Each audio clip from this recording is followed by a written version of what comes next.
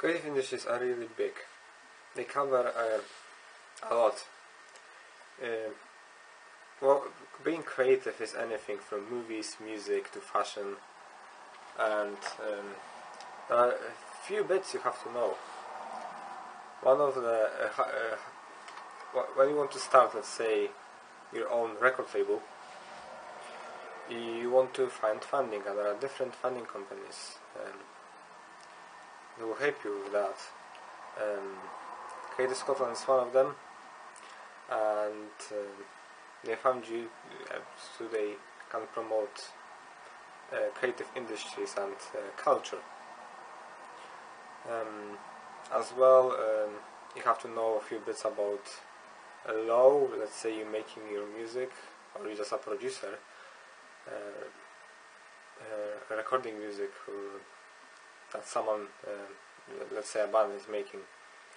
Uh, you have to know everything about copyrights and patents on the legal stuff. And yeah.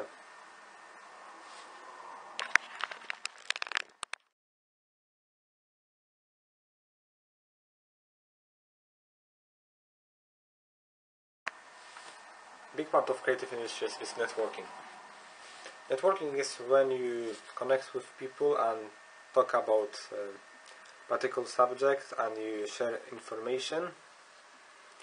Um, this can be done in many ways. Uh, one of them is um, school, um, social media, but the biggest networking is happens when you meet people at events, um, at conventions, and uh, this is where you really learn from professionals about gear or other stuff you uh, d- depending on what uh, industry this is on. Let's say um, lighting and sound um, you go to conventions to see new mixers uh, new lighting and uh, people will talk you through about it. Uh, let's say you know something you can share with someone you get new contacts new business partners in future maybe uh, really cool stuff